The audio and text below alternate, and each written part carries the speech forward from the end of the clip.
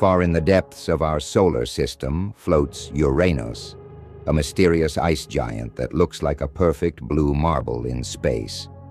As the seventh planet from our sun, Uranus stands out for its unique feature. It spins completely on its side, like a rolling ball. This giant world is made mostly of ices, not just frozen water, but a mix of methane, ammonia, and water combined with rocky materials. The beautiful blue-green color we see comes from methane gas in its atmosphere. A single year on Uranus stretches for 84 Earth years. And because of its extreme tilt of 98 degrees, each pole faces the sun for 42 years straight, then plunges into darkness for the next 42 years.